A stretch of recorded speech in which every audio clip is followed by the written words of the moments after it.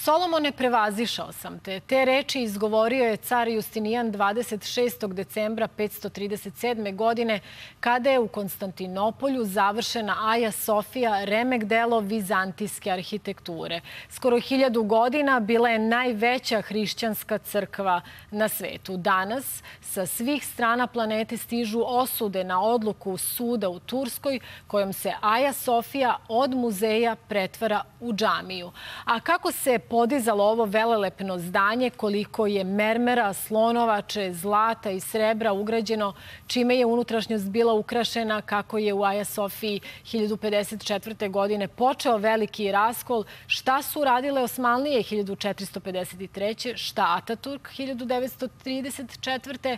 a šta sada radi Erdogan. O tome ovoga jutra razgovaramo sa profesorom doktorom Radivojem Radićem, profesorom Filozofskog fakulteta i šefom katedre za vizantologiju i doktorom Denom Ristićem, istoričarom. Dobro jutro, dobrodošli. Dobro jutro. Pa evo da se vratimo za početak, profesora, u tome ćete nam vi najbolje pomoći u prošlost, kroz istoriju.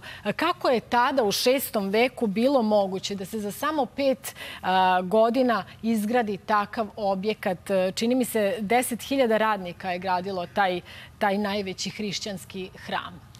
532. godine je u jednoj velikoj pobuni u Carigradu izgorela između ostalih i Sveta Sofija i kad je ta pobuna ugušena, koja umalo nije srušila Justinijana sa vlasti, on je rešio da podigne novu crku Svete Sofije. To bi bila već treća.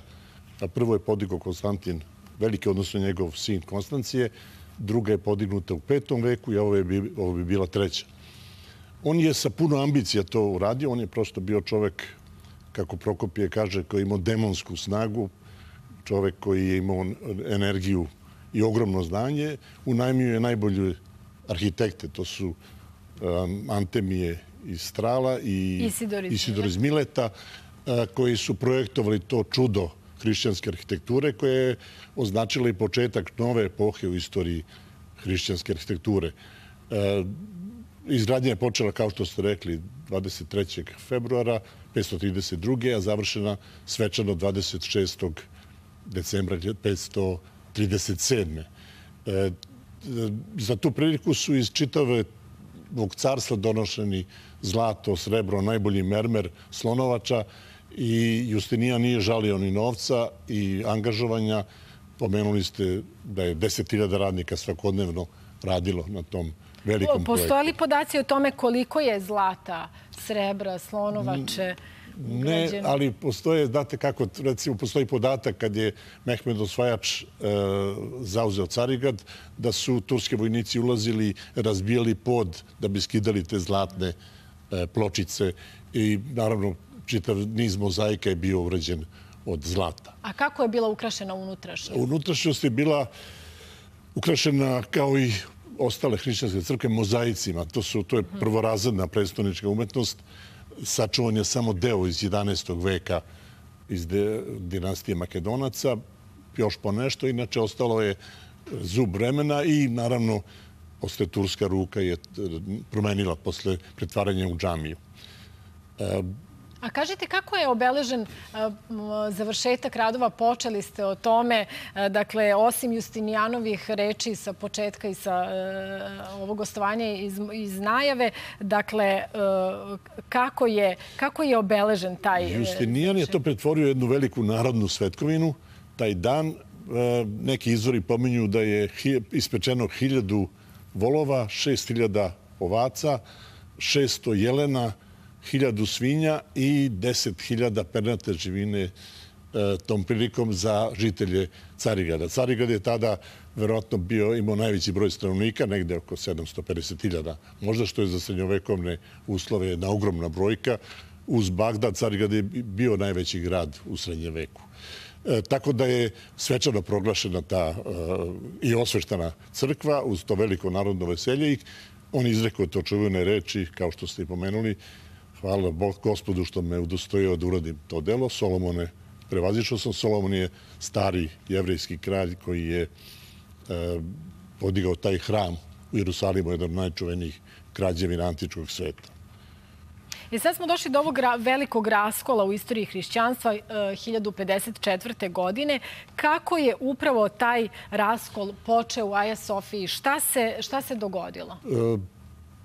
Prethodno je bilo su pregovori između Rima i Carigrada, zategnuti odnosi, jer je iz Carigrada i iz Ohrida su upućene jedna vrlo oštra pisma povodom nekih neslaganja oko hrišćanske dogme, gde su se postojale neke razlike i onda je došla jedna delegacija koju je predvodio čuveni kardinal Humbert u Carigrad, pođeni su neki pregovori koji nisu dali rezultata. I onda je usledio taj krucijalni dan, da kažemo, u subotu 16. jula 1954. godine crkva je bila prepuna vernika i sveštenika koji su služili. Ušali su ove predstavnici Rima, otišli na oltar i spustili anatemu bulu pape, papinu kojom se anatemiše Carigradska patrijašija. Onda su krenuli ka izlazu, okrenuli su se i simbolički su otresli e, prašinu sa svoje obuće i rekli neka Bog vidi, neka Bog sudi. Savremenici nisu znali da će to biti događaj od svetsko-istorijskog značaja, jer je bilo i ranije sukoba Rima i Carigrada, čak i nekoliko decenija ponekad nisu imali nikakvo opštenje, ali ovog puta je to bilo konačno, bar za sada, već hiljadu godina taj raskol traje. Tako da je ta anatema bačena na oltar Svete Sofije. E, padom Caregrada 1453. godine Osmanlije su Aju Sofiju e, pretvorili u džamiju. Šta je sve tom prilikom uništeno? E, procenjuje se da su da su štete bile ogromne, naravno. To se je bio srednjovekovni običaj da vojska koja osvoji tvrđavu koja se branila, tri dana može da pljačka nesmetano. Mi znamo da je popodne tog dana, kad je Carigrad pao, ušao u Svetu Sofiju Mehmed Osvajač. On je, neki izvori kažu, ušao je na konju, međutim nije tačno, prosto ušao je, klekao je pred Svetu Sofijom ulazom, uzeo je komad zemlje i posuo po turbanu, zahvalio Allahu što mu je omogućio da napravi to veliko delo, ušao u unutrašnjost crkve i vidio jednog turskog vojnika kako razbija pod. pod. I on ga je udario nekakvom čuskijom, njega su polumrtvog izbacili na, na ulicu, onda je Mehmed Sojač izgorio neke čuvene stihove jednog persijskog pesnika i naredio jednom svom čoveku da se popre na predigaonicu gde su obično bili pravoslavni sveštenici i izgovori tu molitvu nema Boga do Allaha, a Muhamed je njegov prorok. I tim gestom je Sveta Sofija postala e, džamija. Idemo sada dalje kroz istoriju. Približavamo se sadašnjem trenutku. Kakav potez je onda povukao turski predsjednik Ataturk 1934. E, godine? Zašto je Aja Sofija postala muzej? E, to je bio jedan veliki događaj u istoriji e, Turaka, kada se prešlo ovaj, na sekularnu državu i on je jedan od velikih ljudi istorije koji je procenio da je to jedan civilizacijski važan potez i uradio je da je pretvorio u e, nije više bila džamija, pretvorio je u muzej. I naravno to je nešto što je pozdravio ceo svet zbog značaja te e, hrišćanske bogomolje, najvažnije bogomolje, najvažnije hrama istočnog hrišćanstva.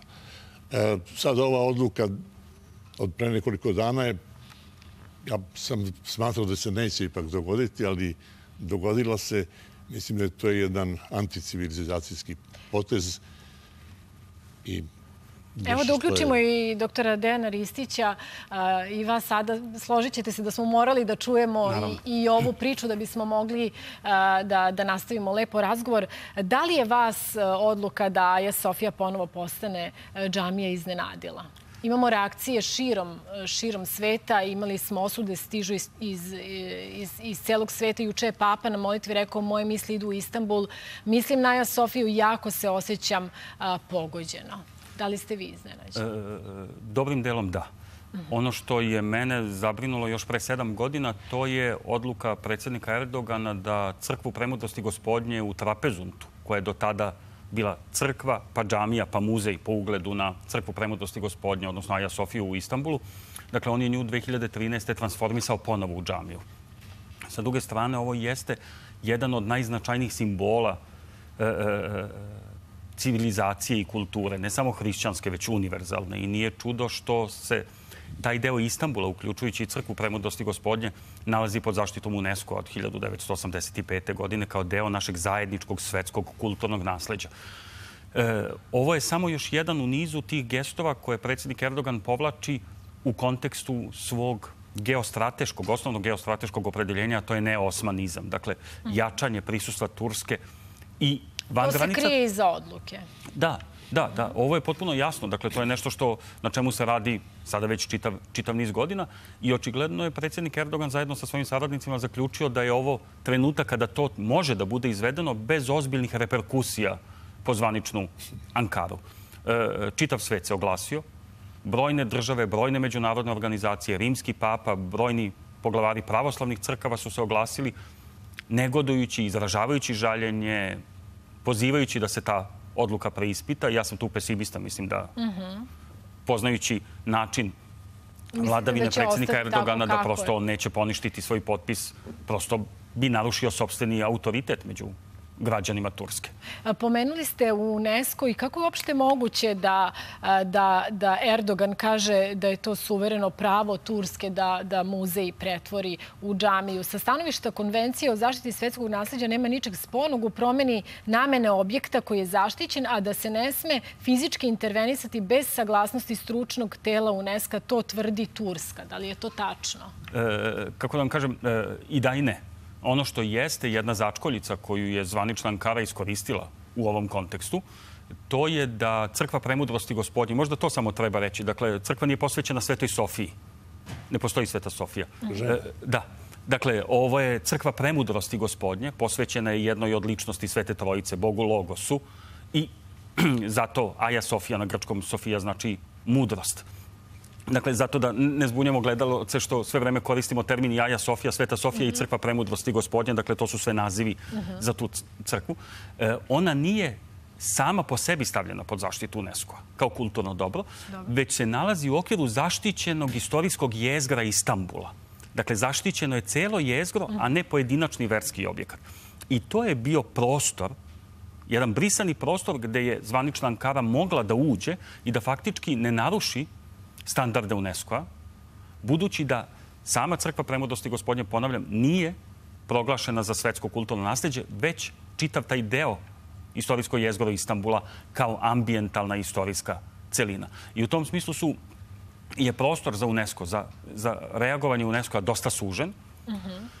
I to je ono što je naravno zabrinjavajuće, ali jeste realnost. I ovo samo pokazuje ovo je još jedan u nizu primjera koliko je kulturno nasledđe istovremeno identitetsko i simboličko nasledđe. Ovo je jedan od najznačajnijih simbola naše civilizacije. Ona je bila opšte hrišćanska crkva do 1054. do velikog raskola. Potom je bila pravoslavna crkva do 1204. godine. Pod 1204. do 1261. bila je rimokatolička katedrala. Pa od 1261. do 1453. ponovo pravoslavna crkva. Pod 1453. do početka prošlog veka džamija, onda muzej do nedavno i sada, nažalost, ponovo džamija. Dakle, ona je obuhvatila više religija. I oba, da tako kažem, plućna krila hrišćanstva, i istočno i zapadno hrišćanstvo. I nadišla je svojim značajem, e, e, e, svojom simbolikom, e, činjenicu da se radi samo o bogomolji. Ona je mnogo više od jedne vredne bogomolje. Ona je simbol naše civilizacije. Evo, profesore, za vas pitanje koliko smo svesni značaja ove odluke? Pa ako ona ostane na snazi, a ostaće, to je... I vi ste po meni, bojim se da je, da, uh mhm. -huh. o, da to je jedan civilizacijski korak unatrag. To će možda biti jedan mig da se slični potezi na raznim delovima sveta prave, a to je nešto što nam govori da, kako neki kažu, počinjemo da živimo ponovo u svetu novih varvara. Jer ovo je, kao što je kolega Ristić rekao, anticivilizacijski. Sveta Sofija je više nego e, hrišćanska bogomolja. Jedan od, jedno od najvažnijih spomenika sveta. E, ali, kažem, bojim se da će ta odluka ostati. Kakvu reakciju posebno Grčke i Rusije treba očekivati? Reakcija zvanične Grčke i Atinske arhijepiskopije je bila očekivano vrlo oštra i, i mm -hmm. brza. I, Tur, I Grci su više navrata i upozoravali da će ošto reagovati.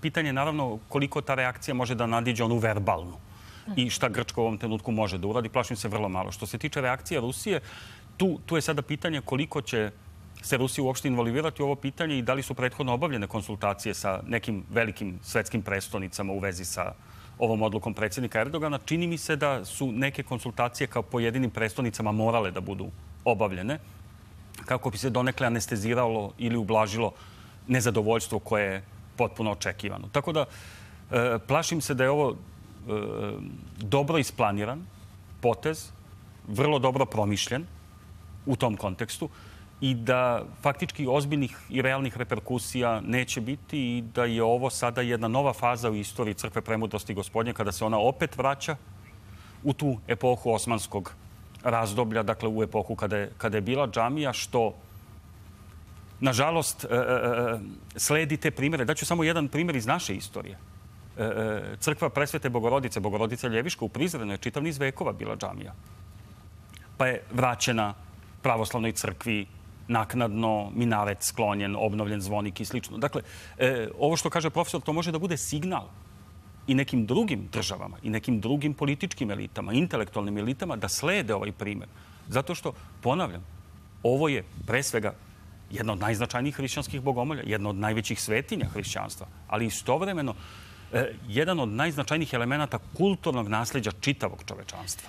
U našim vestima e, se moglo pročitati da je Erdogan najavio oslobađanje džamije Al-Aqsa od Izraela. Tako je.